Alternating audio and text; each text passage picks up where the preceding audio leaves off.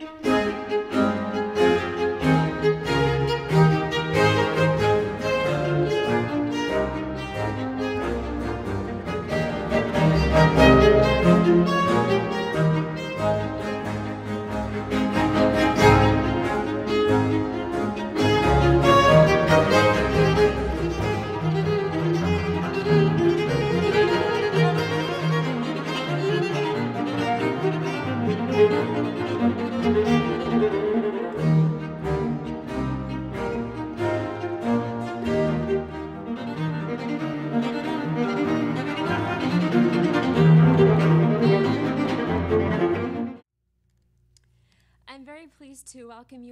to the opening of Special Collections' new exhibit and also to introduce, introduce today's speaker, Professor Kent P. Jackson. Kent Jackson is a professor of ancient scripture at Brigham Young University. He has a BA in ancient studies from BYU, an MA and PhD degrees in biblical and ancient Near Eastern studies from the University of Michigan. He joined the BYU faculty in 1980. His research interests include Latter day Saint scripture, doctrine, and history, with emphasis on the intersection of Mormonism and the Bible. He has authored or edited Joseph Smith's Commentary on the Bible, Joseph Smith's new translation of the Bible original manuscripts, and the Book of Moses and the Joseph Smith translation manuscripts. He was the chair of BYU's February 2011 symposium commemorating the 400th anniversary of the King James translation of the Bible. Many of you may have joined us for that. And he is the editor of the King James Bible and the Restoration, which will be released next month, October 2011. Professor Jackson is a former Associate Dean of Religion and former Associate Director of the BYU Jerusalem Center for Near Eastern Studies. And now we'll hear from Professor Jackson.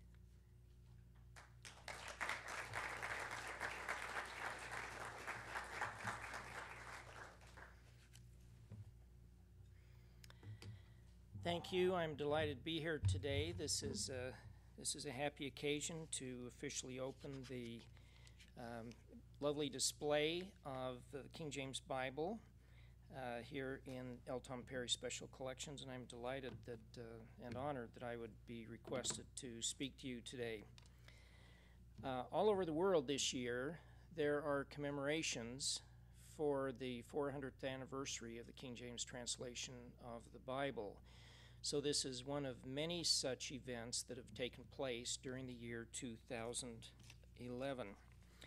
I noticed when the when I received a flyer in my mailbox and when I saw posters on the campus, as you can see behind me on the board, um, I pay attention to things like the uh, size of type. I noticed that my name is in a larger type font than that of the Bible or King James or Harold B. Lee. Uh, I was not the designer of this piece of art, but it is a good introduction for some of the things that we are going to see in the images I'm going to show you about how different messages have been sent through the history of the early English Bibles. Uh, the title is A Cast of Characters, and somebody asked me yesterday, now, what do you mean by characters? Do you mean characters or characters? Well, cast of characters is the uh, sheet you usually see that tells you who the actors are in, in a play or a movie or something like that. But characters also means characters. And I suspect that in any enterprise, including the creation of the English Bible, you're going to have characters and characters. And so today, I think it's good for us to take the time to talk about some of those characters who uh, created the Bible for us uh, over the long process by which the Bible came into existence that we still use today. And to begin with, we certainly have to pay attention to the authors of the Bible. They are our first and perhaps most important characters. And so we have people like uh, Isaiah, Jeremiah, Matthew, Mark, Luke, and John I could have included others. I deliberately didn't include Paul, who doesn't read very well at all in the King James translation, and I don't know if that's King James's fault or William Tyndale's fault or more likely Paul's fault. Um, but in any case, when you look at a beautiful passage from the scriptures, don't think first of the translator, think first of who the original author was. John Wycliffe. From the 5th century, Western Europe's Bible was the Latin Vulgate. Few people could read it, only the academics and some of the priests. Being able to read the Bible was not something normal people were expected to do. But the original Bible was not in Latin. The Old Testament was written in Hebrew, the language of ancient Israelites, and New Testament was written in Greek, the language of most early Christians. When changes in culture and population took place, the Bible was translated so more people could read it. Jews in the 3rd and 2nd centuries BC translated the Old Testament into Greek, which by then was the only language that many Jews knew. When Latin became the primary language of a large number of Christians, the scriptures were translated into that language. The Latin translator in the 5th century was St. Jerome. we call his translation the Vulgate because it was the vulgar, that is, common translation, uh, common language of ordinary people. Literate Christians could read it. Indeed, putting the scriptures into the language of ordinary people through all those centuries was the desired thing to do. But in the centuries after the Bible's translation into Latin, things changed. Latin ceased to be a spoken language, at least among ordinary people. it was kept alive by scholars and priests for the use of the church and the academy, and thus what had once been the language of the common people was eventually the language of only the elites. And unlike in earlier centuries, when the Bible was translated to meet the changing needs of common people, that process was not continued. The Vulgate remained the Bible of the church, but now is no longer accessible to ordinary people because they couldn't read it, and it was controlled by the few who could. Then the medieval church developed the notion that God intended the Bible to be un- inaccessible to common people. The fact that it was foreign and unapproachable became a good thing. And finally, to complete the process, the idea became established that the Latin translation was more authoritative than the original texts in the original languages. John Wycliffe was a reformer before there was a Reformation.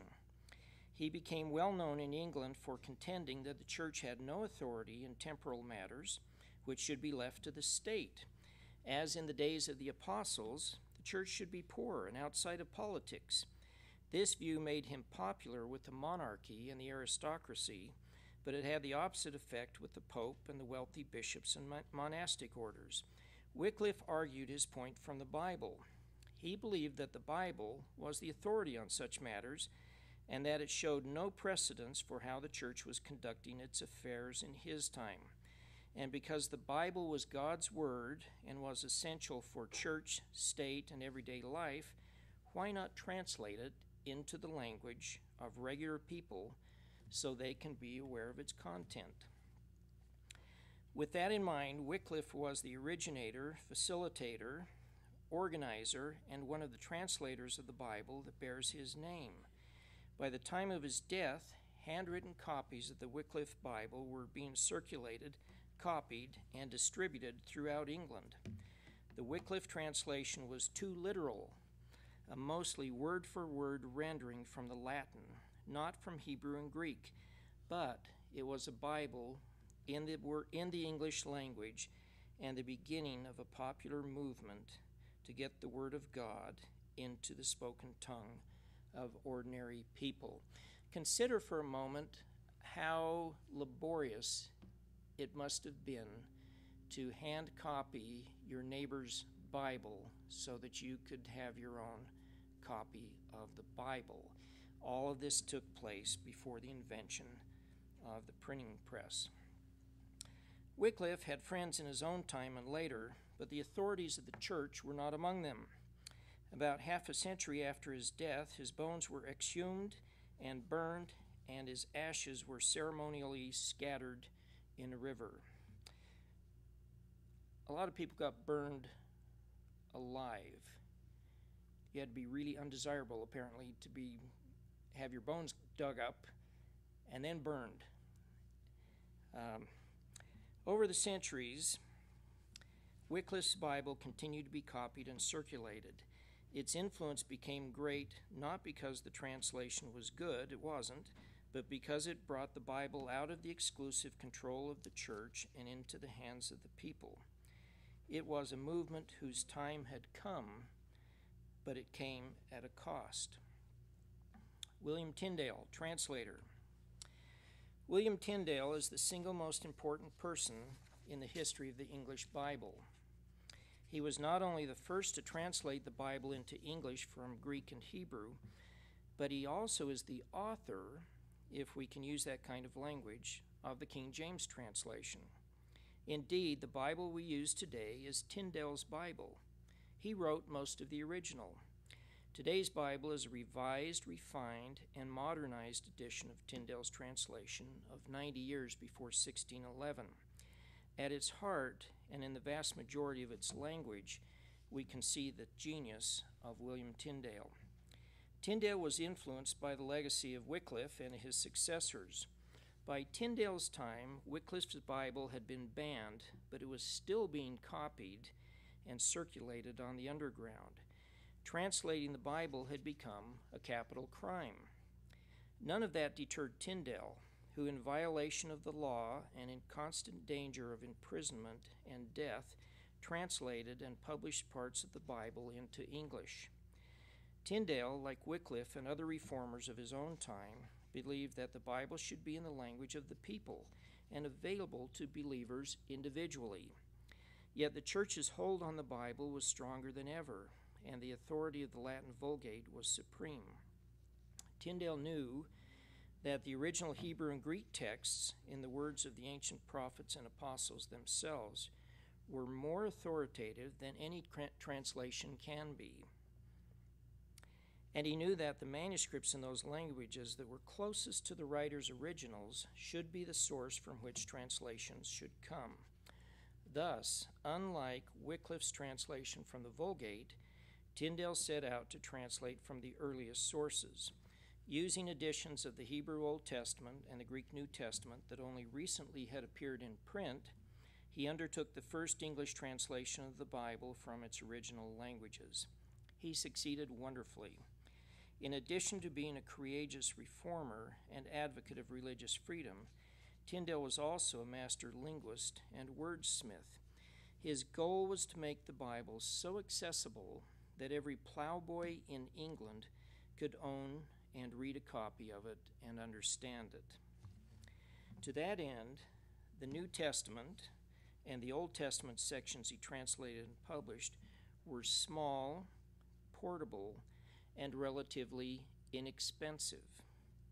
His goal was not to produce monuments, but to produce something that could get the Word of, of God into the hands of people. His translation is characterized by what Nephi called plainness. It is in clear and simple English, the language of middle class people of his time, and deliberately free of the elegant and affected literary trappings of the monarchy and the church. It is, as one scholar has said, accessible, useful, clarifying, less interested in the grandeur of its music than in the light it brings. End quote. Tyndale's choice of words has endured. Research by our colleague Royal Skousen has shown that over 75% of the King James Old Testament, of the sections Tyndale translated, come from Tyndale, as well as over 80% of the King James New Testament. Tyndale had another advantage over Wycliffe. In the middle of the previous century, Johannes Gutenberg had invented movable type and the printing press. The technology of printing had, had arrived just in time for the translation of the Bible into vernacular languages. Tyndale translated and published the New Testament in two editions, and Genesis to Deuteronomy in two editions, and Jonah. He also translated Joshua to Second Chronicles, which were published after his lifetime. Before he could translate more, however, he was captured, imprisoned, strangled to death, and burned at the stake for his heresy. According to his contemporary John Foxe, Tyndale's last words were, Lord, open the King of England's eyes. Apparently, the Lord did open the King of England's eyes. Our next character, Miles Coverdale, bishop, reformer, and Bible translator. In 1535, Miles Coverdale uh, published the first ever translation, printed translation of the Bible into the English language, of the complete Bible. Uh, looking at the title page here, it says Biblia, the Bible, that is, the Holy Scriptures of the Old and the New Testament, and then faithfully and truly translated out of the Deutsch, which means Deutsch, German, and Latin into English. Now, Coverdale did not know Hebrew or Greek. And so, what he did for his 1535 translation, which, as you can see from the date, came off the press before Tyndale's death, Tyndale was on the continent, may not have even known of the printing of this. Um, what, what Coverdale did is that he took Tyndale's published Old Testament sections and Tyndale's New Testament, and then Coverdale himself translated um, from Greek and Latin texts into English, and by that means put together put together a whole English Bible. And so Tyndale moves on then into Tyndale's translation then moves on into the next Bible to come out, that is the Coverdale Bible of 1535. Now, the thing that made Coverdale's Bible translation and publication possible was our next character, King Henry VIII. Henry VIII was kind of, uh, uh, history kind of dragged Henry VIII reluctantly into the creation of an English Bible. In his early years, Henry VIII received a commendation from the Pope for being a defender of the faith. In his latter years, for political and social reasons, Henry found it expedient to leave the Roman Catholic Church and establish what we call the Church of England with himself, the king, as the head of the church part of this process, as part of this process, he accepted the pleadings of Miles Coverdale and then two others to allow for the publication in English uh, of the complete Bible. So Henry VIII becomes an important part of the process. And in Coverdale's Bible, um, we can, if, if you look at the title page, you can see biblical scenes surrounding the text in the middle of the page, but what do we see at the bottom? We see an image of the king, and to his right, he is passing out a copy of the Bible to the bishops that they in turn can share with the church. And so this turns out to be the first of several such images in printed English Bibles that puts the king, puts the English monarch into the story of being part of the process of taking the Bible from the heavens and dispensing it to people on earth. John Rogers, two years after Coverdale's Bible came out, a man by the name of John Rogers in 1537 published his own copy of the English Bible.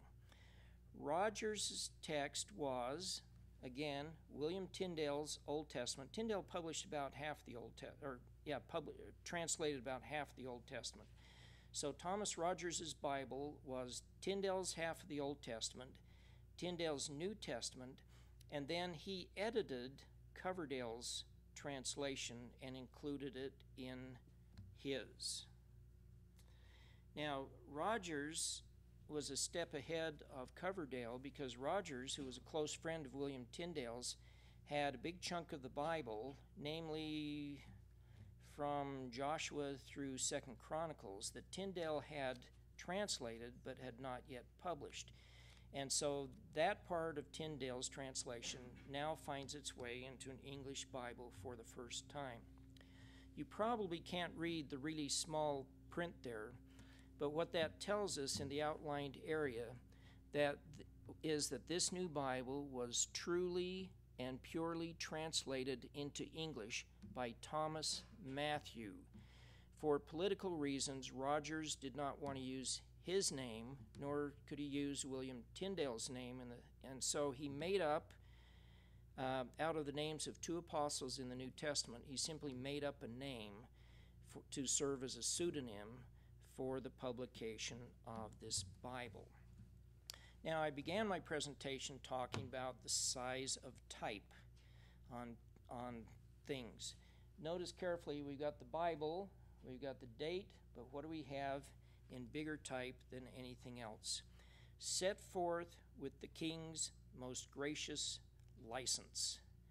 And so, John Rogers here wants to make sure, in bigger type than even the word Bible, that his readers know that he does not want to get burned at the stake like Tyndale, but that he is printing this Bible with the license of King Henry VIII.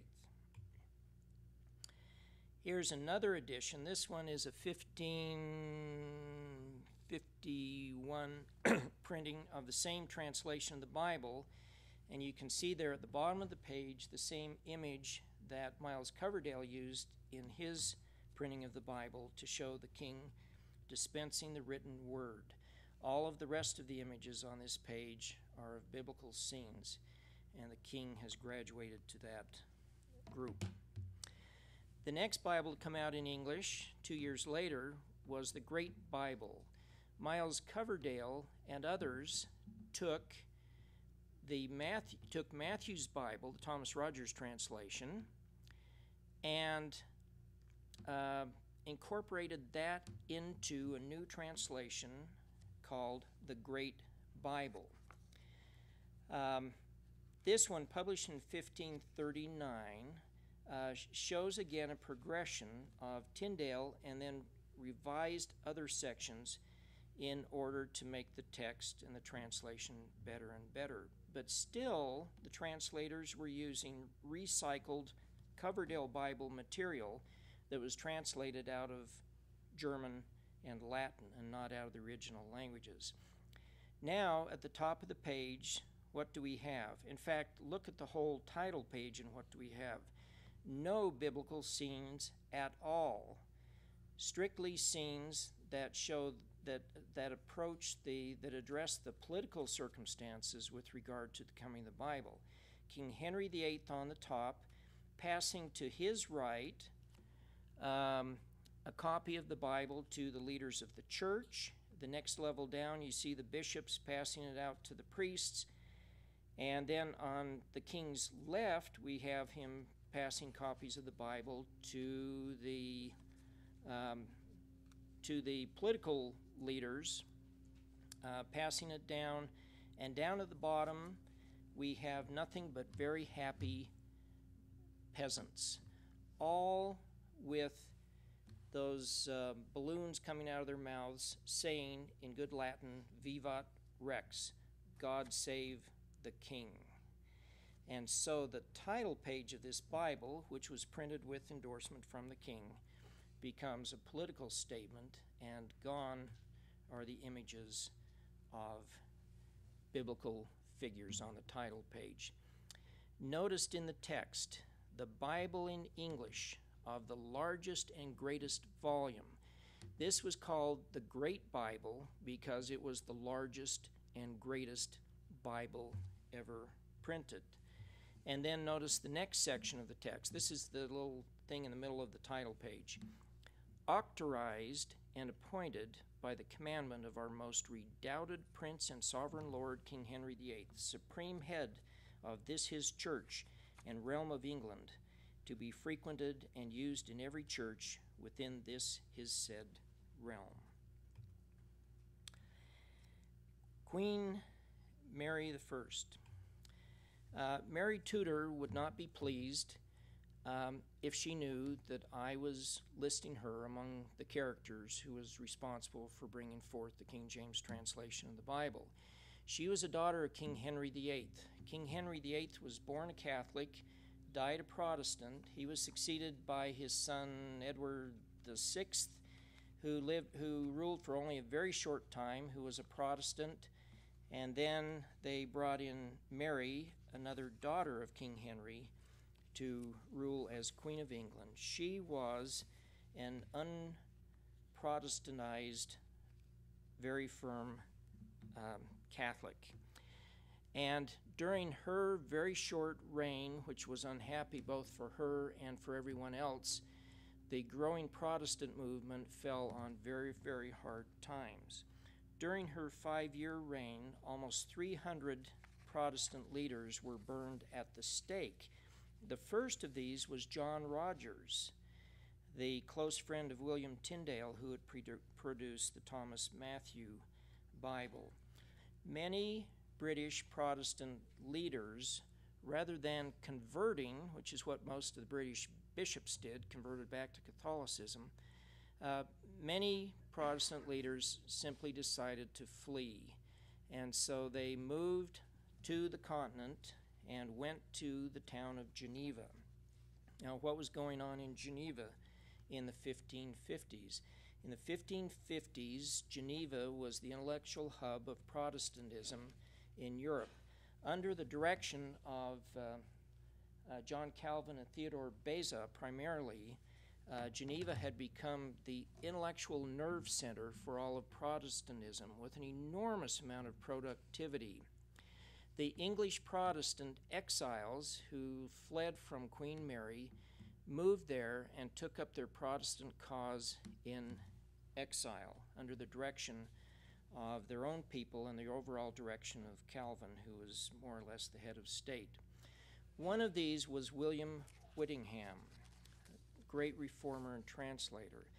This man is made a greater contribution to the King James translation than any of the King James translators.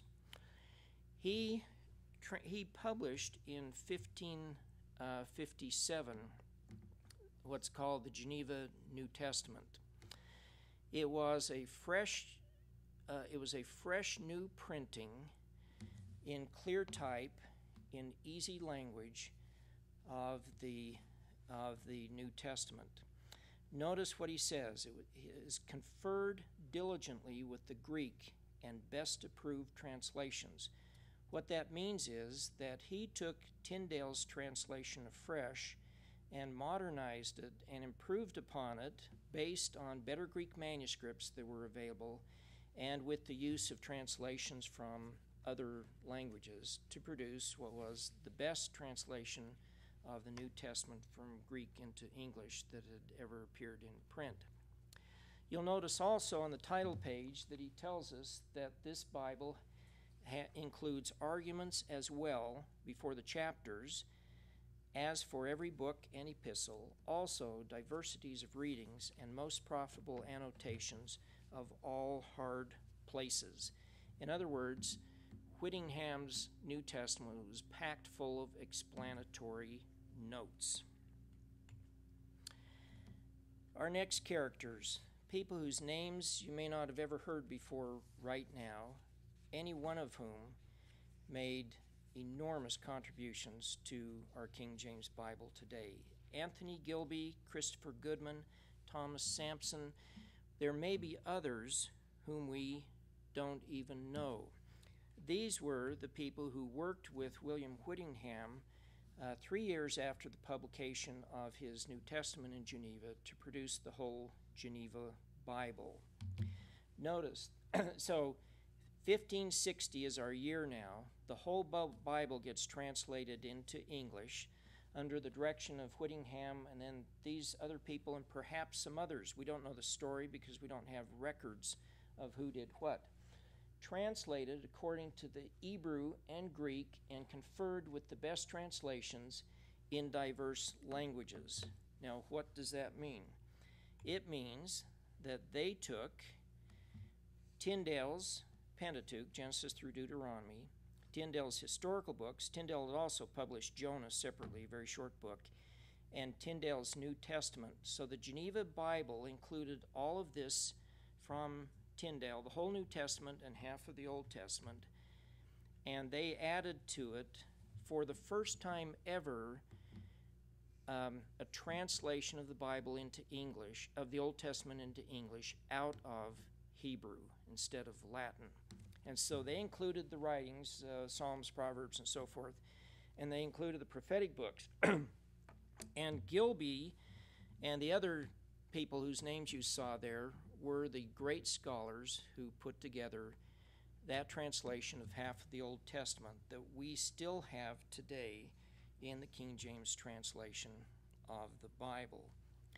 Now, the King James translation, we'll look way ahead here for a moment, but the King James translation is simply the latest in a series of reproductions and refinements of William Tyndale's work. But Tyndale didn't publish the second half, didn't translate the second half of the Old Testament.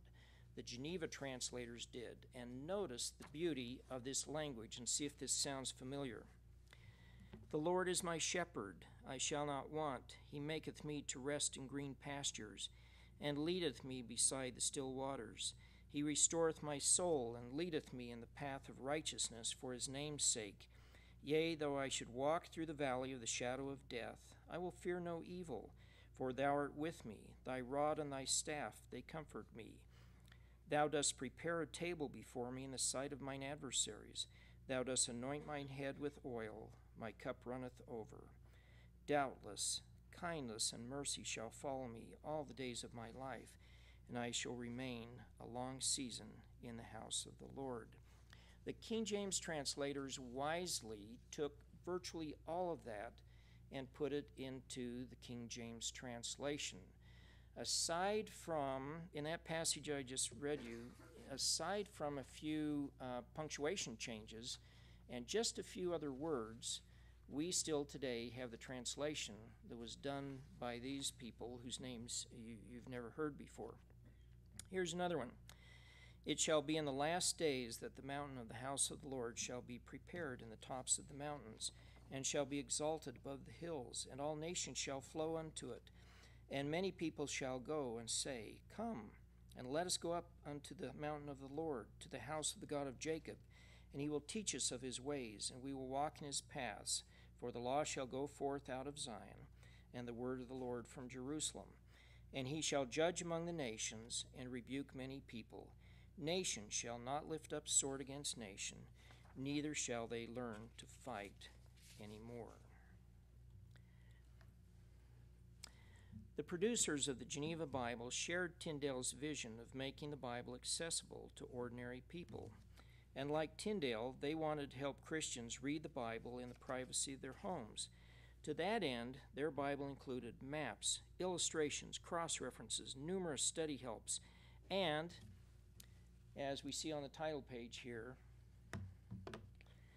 most profitable annotations upon all the hard places in the form of copious explanatory notes that were presented in the margins. Take a look at this page from the first of the book of Revelation. The Geneva Bible was a self contained library, not only for personal scripture study, but also for instructions in how to live the life of a faithful Christian and because of its popularity, its marginal commentary became one of the most widely read works in the English language. The Geneva Bible was what we now call a study Bible, and it enabled readers to drink deeply from the words of the prophets and apostles without the mediation of priests or the church, but with commentary on the scriptures by some of the greatest thinkers in Protestant Christianity. More than any other Bible in English, the Geneva Bible liberated the Word of God from its medieval past and placed it in the hands of hundreds of thousands of readers. It was also the Bible of Shakespeare and his contemporaries and was an important foundation of modern English. When England became permanently Protestant, the Geneva Bible and its translators were able to leave their exile on the continent, and the Geneva Bible was soon printed in England and became the English Bible of choice. The Geneva Bible was the most popular and widespread Bible in English for about 70 years, but it was not popular with the authorities. Why not? It was produced outside the control of the Crown and the Church of England, and the marginal notes contained material that displeased both. An authorized version was needed to replace it. The Bishop's Bible, first published in 1568, was preserved was prepared by conservative Anglican bishops under the direction of Matthew Parker, Archbishop of Canterbury.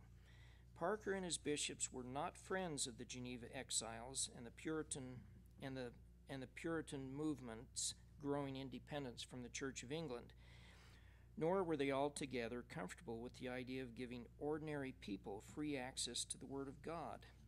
Thus, they produced a translation of the Bible to compete with the Bishop's Bible, or with the Geneva Bible. It was farther removed from the common language of the people than the Geneva Bible was. In its vocabulary and sentence structure, it was a throwback to earlier times, with an in- increase of less familiar Latin based words and much Latin based word or- order. As David Daniell has written, the Bishop's Bible, quote, was and is not loved. Where reprints Geneva, it is acceptable, but most of the original work is incompetent, both in its scholarship and in its verbosity. The Bishop's Bible was intended to be used in churches, and to that end, its large, heavy volumes were chained to pulpits all over England.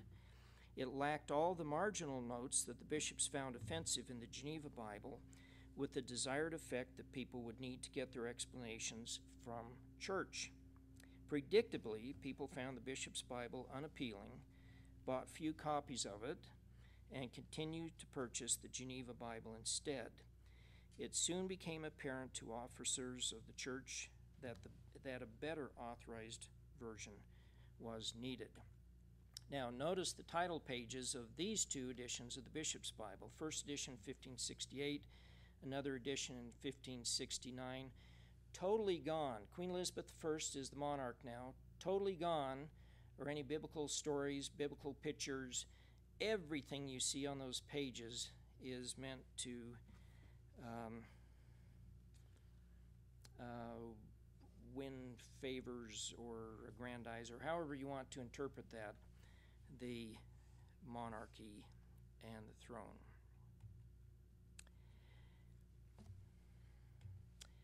King James I.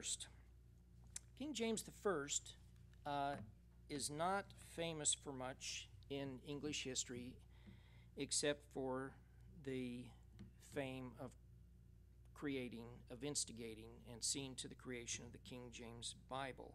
And that was a fame that came long after his lifetime. In his own time, he was not known as a particularly good or memorable king. But he was a pretty good amateur Bible scholar, and so he was actually pretty well up to date with a lot of the theological issues regarding translations. He was no friend of the Puritans, uh, the people who had been to Geneva and others, and he favored the conservative bishops, and he really disliked the Geneva Bible, not because of the biblical text, but, it, but because he found notes in its margins that said things like it's obey it's okay to disobey the king on occasion. King James believed in the divine calling of kings, and uh, that struck a sensitive uh, note in him. But he surprised everyone when he agreed to a new translation of the Bible. The King James translation, then, published in 1611, was motivated as much as anything else by the politics of the day, including the continuing popularity of the Geneva Bible. Geneva was popular with the nonconformist Puritans, whose loyalty to the monarchy and the church was under suspicion. Its abundant marginal notes reflected independence from both the church and the crown, and in some places reflected ideas that the king and his advisers found bothersome for one thing, the marginal notes uh, in the King James Bible were an effort toward democracy. I don't need the monarchy. I don't need a priest. I can read the Bible and I can read commentary on it on my own. So, in in a sense, the bishop's the, the Geneva Bible was a seditious document. And the other problem with it was it was hugely popular. It was a very very fine translation and English people loved it. The decision was made to undertake a new translation free of the undesirable influences and under the careful watch of authorities. A large committee of about 50 men was organized into six smaller working groups, and the various parts of the Bible were divided among them. Among the translators were the best Hebrew and Greek scholars in Britain. They were an amazing, learned, and talented group, and I'm only going to mention three of them. John Reynolds. John Reynolds, like the other translators, extraordinary learned, smart, great control of ancient languages. He was a Puritan and was considered a moderate. It was he who suggested to King James that a new translation be undertaken. He was appointed to be one of the translators that worked on the prophetic books, and he died before the project was completed. Richard Bancroft. Richard Bancroft, the Archbishop of Canterbury, was appointed by King James to oversee the new translation, which he did until his death a year before the new Bible was printed. Now, notice the Geneva translation, spontaneous translation by reformers done away from the authorities. King James translation, under the direction of the king, number two guy in the kingdom for religious matters, Archbishop Canterbury, is in charge of it. Like the others involved in the translation, Bancroft was highly educated and deeply tied into the church. Of the 50 or so men involved in the preparation of the King James Bible, all but one were either priests or bishops of the Church of England. Unlike the Geneva Bible, the King James translation was to be an in house project under careful control from the highest authorities. Bancroft is remembered historically for his oversight of the KJV, but his greatest fame comes because, as a priest, bishop, and archbishop, he was one of the foremost opponents of the Puritans. In fact, he was the chief persecutor of the nonconformists that we call the Pilgrims who came to America. It is one of the interesting ironies of history that we celebrate both the King James Bible and the Pilgrims who fled to America in 1620 to escape persecution from King James, Richard Bancroft, and the bishops who brought about the King James Bible. Bancroft, at the king's instructions, created a list of 15 rules that would govern King James's translation. Most were procedural, but the most important for the Bible are these. Start with the Bishop's Bible. The new translation would be an edit of the Bishop's Bible. That's rule number one. Rule number six no marginal, marginal notes allowed except to explain Hebrew and Greek words and for cross references. Number 14, use other translations where they agree better with the Hebrew and Greek text than does the Bishop's Bible. And all of the English Bibles that we've discussed so far were on the list that they could use. Because the instructions were to make a revision of the bishop's Bible, each member of the committee was given a fresh, unbound copy or part of a copy to work from. They also had before them the Hebrew Old Testament and the Greek New Testament, as well as all of the earlier translations. Those who worked on the KJV can thus be viewed more as editors than as translators, because that was the nature of their assignments. But this takes nothing away from their monumental accomplishment. They worked patiently through all parts of the Bible, scrutinizing every passage. They selected the words they felt best represented the intent of the Hebrew and Greek originals, often drawing words directly out of the earlier English translations. Thus, the Tyndale Bible and all of the translations that derived from it became the drafts for the KJV, the final product of almost 90 years of work to create the English Bible. The outcome was the most consistent and carefully produced of all the English Bibles to that date. In general, their work succeeded best when they followed the original languages in Geneva, and hence Tyndale. It succeeded least when they remained true to their instructions to follow the bishop's Bible. Awkward passages from the bishop's Bible survive in the KJV even today, as in this example from Matthew chapter 6 verse 34 a totally unintelligible statement coming from the mouth of Jesus Sufficient unto the day is the evil thereof. If King James's translators had used Tyndale as their beginning text instead of the Geneva Bible, maybe we would have this The day present hath ever enough of its own trouble, or Geneva, The day hath enough with its own grief. But in other instances, such as the beautiful passage from Psalms and the one from Isaiah chapter uh, 2 that I read earlier, the translators wisely abandoned the bishop's Bible and followed Geneva instead, often even improving upon Geneva's wording.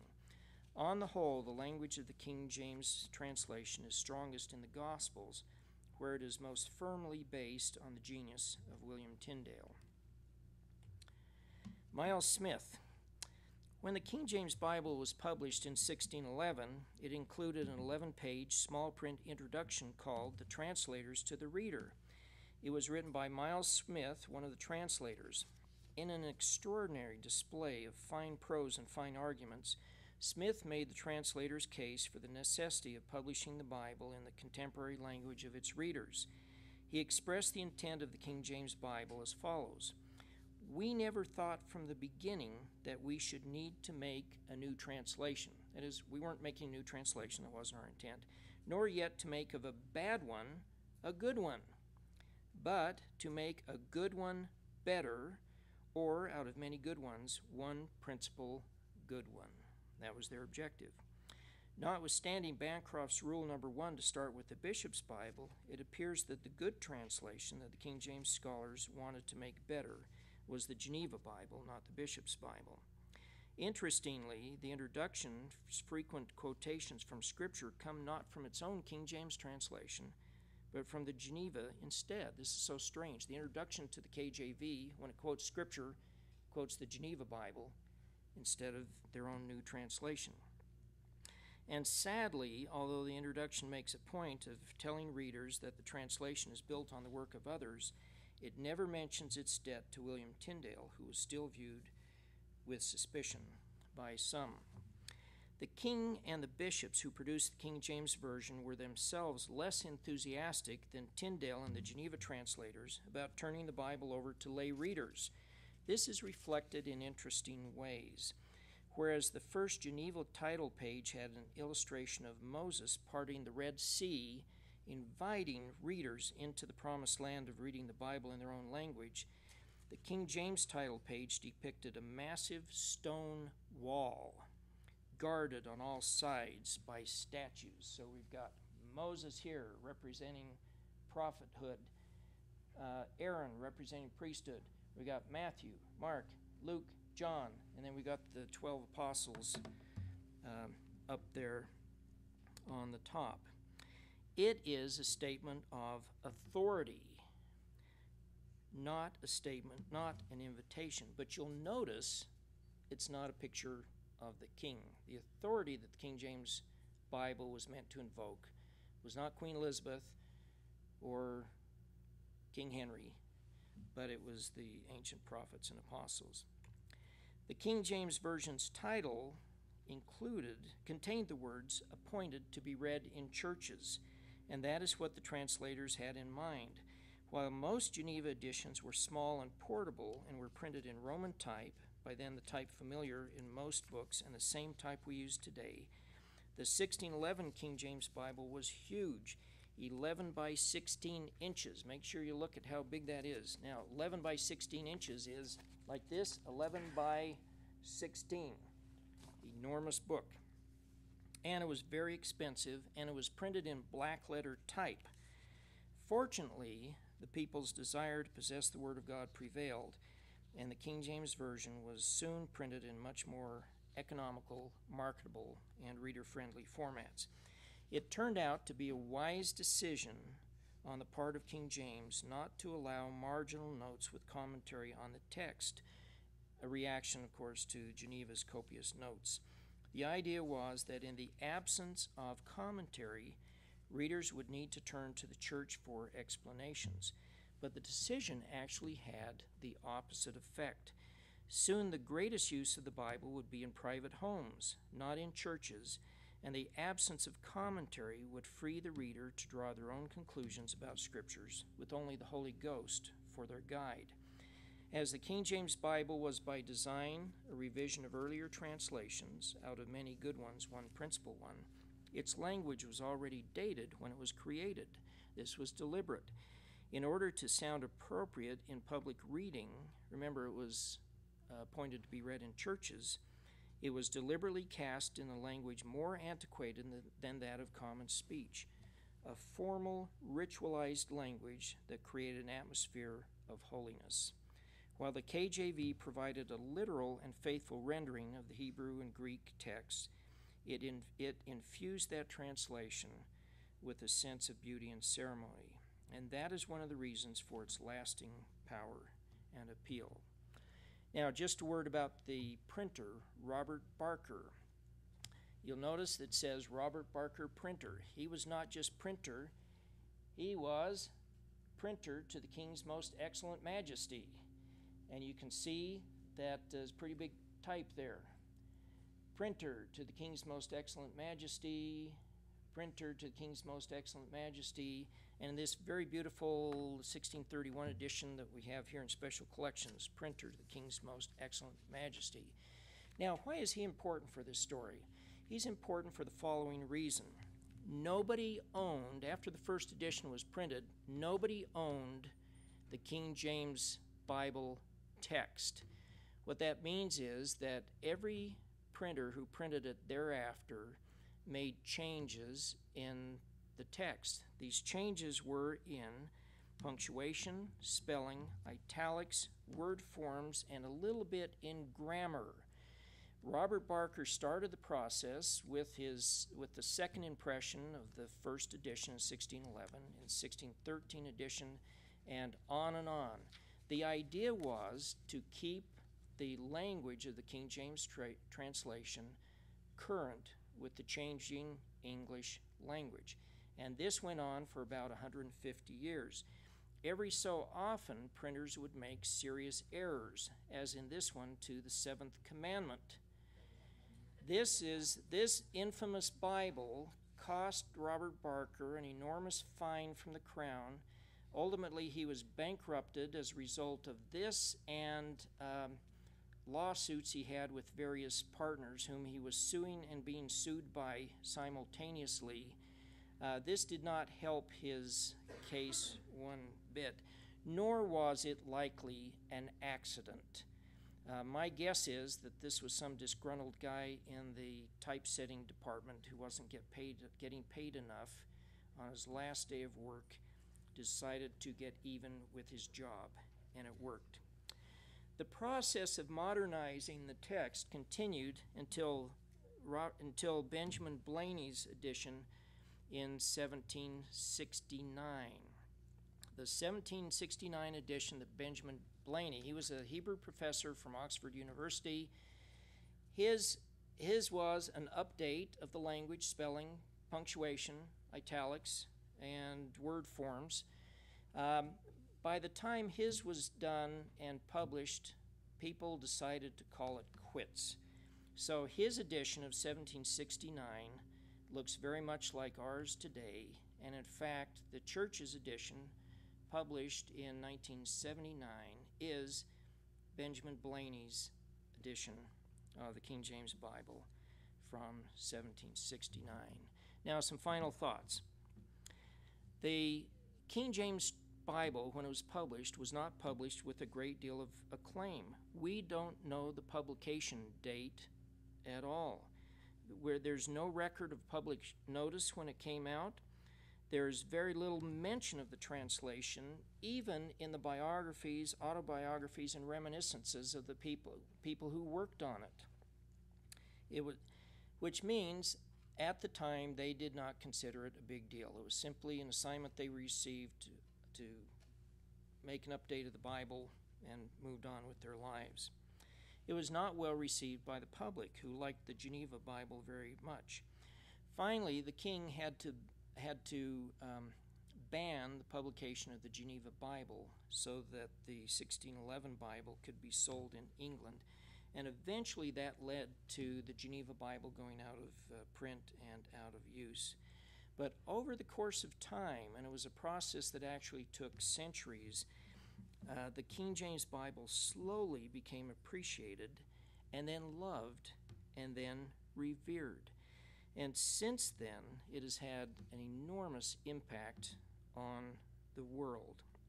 So today, as we celebrate the 400th birthday of the King James Bible, let us also celebrate the original authors, William Tyndale, the Geneva translators, and the King James translators for the contributions they made to bless our lives with the Bible in the English language. Thank you very much.